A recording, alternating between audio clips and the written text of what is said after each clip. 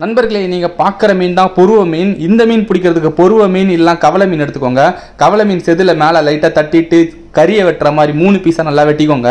சரி ஃபஸ்ட்டு நம்ம என்ன மீன் பிடிக்க போறோம்னு சொல்லுவோம். யூஸ்வலாக பார்த்தீங்கன்னா நம்ம கட்டை கிச்சா வந்து கடற்கரை ஓரத்தில் பிடிப்போம். ஸோ இது நிறைய பேர் பிடிச்சிருப்பீங்க. அடிக்கடி மாட்டோம். ஆனால் சின்ன சின்னதாக மாட்டோம். அதே வந்து கரையிலேருந்து கொஞ்சம் தூரம் கடலுக்குள்ளே வந்து போட்டிங்கன்னா பெரிய பெரிய மீனாக மாட்டோம். பார்த்தீங்கன்னா அரை கிலோ முக்கால் கிலோ ஒரு கிலோ சைஸில் மாட்டோம். இந்த மீனோட ஃபைட்டு வேறு லெவலில் இருக்கும். பாருங்கள் போட்டோன்னே அடிக்க ஆரம்பிச்சிடும் நீங்க போட்ல மூணு நாலு பேர் சேர்ந்து போடும் போது அந்த இடத்துல ஸ்மெல்லுக்கு இந்த மீன் பயங்கரமா முச்சிக்கும். பாத்தீங்கன்னா சைஸா அடிக்கும். அதே மாதிரி பட்டு பட்டுன்னு அடிக்கும். ஸோ ஒரு கையில கிளவுஸ் போட்டுக்குவாங்க. பிகாஸ் இந்த மீனோட முள்ளு பயங்கர ஷார்ப்பா இருக்கும். கையில ஹேண்டில் பண்ணா ரொம்பவே கஷ்டம்.